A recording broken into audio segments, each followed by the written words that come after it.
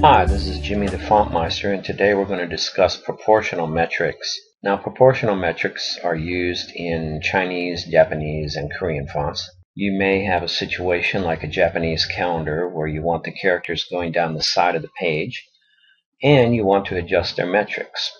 If you need to work with an Asian CJK font, by the way, CJK stands for Chinese, Japanese, Korean, and you want to edit vertical glyph metrics and kerning, then just go to the File, Preferences menu, and turn on Asian CJK font editing.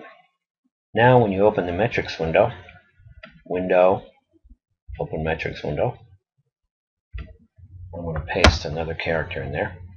You're going to notice that the glyphs are turned on their sides. This vertical mode allows you to edit height, top, and bottom instead of width or left and right values. You'll notice now that the dotted lines say T for top and B for bottom. So you can align the height instead of the width. Now clicking on this vertical icon up here will switch the mode back to horizontal and then back to vertical. Now, once you've adjusted this the way you want, I guess I'll just do a little adjustment here.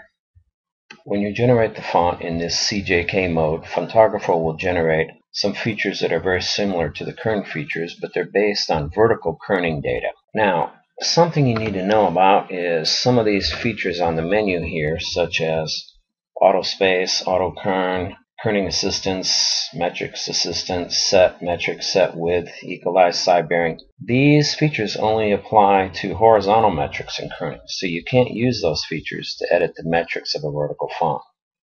Now the clear kerning command does apply to both horizontal and vertical kerning. And finally, for those of you who don't already know this, don't forget when you create a CJK font, you will need to install a CJK keyboard in order to have a way to enter characters once the font is installed. That'll get you started on creating a CJK font with proportional metrics. Thank you for watching the Fontographer tutorial series.